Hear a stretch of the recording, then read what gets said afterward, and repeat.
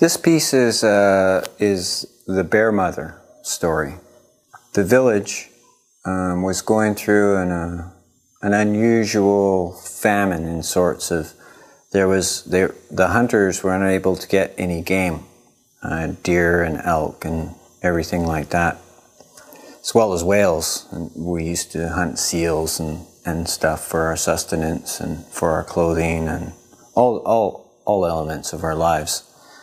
And um, one of the hunters in uh, going out and hunting, he, he went maybe a little too far, and he got lost or stranded. And uh, he was he was at the verge of dying when the bears they, they took pity on him and they went and got him and brought him into their into their clan or cave.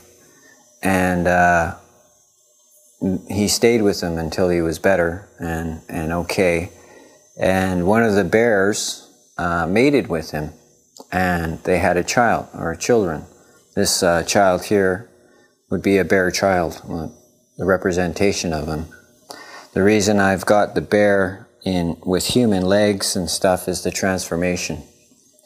The transformation is um, the the bears understanding maybe in the future that that exactly what's happening to most of the animals. They're being marginalized and they're losing their habitats, so they're they're unable to feel like they're unable to continue and afraid of this, they said, uh, if we'll let you go back to your family and your tribe as long as you take our stories and our songs with you so that we're never forgotten. And so that's what he did. He brought them, brought the stories back and the dances and that's how we uh, have the bear dance and the understanding for, for wildlife and, and the, the need of all of them for us to continue. You know, we can't just have part of them. We have to have all of them, and we need to remember. We need to remember that um, that they're an integral and important part of us, not just something to look at in an aquarium or some museum or something like that.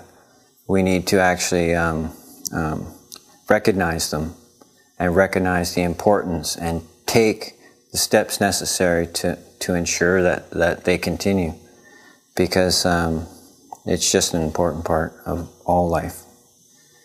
So that's the bear mother story.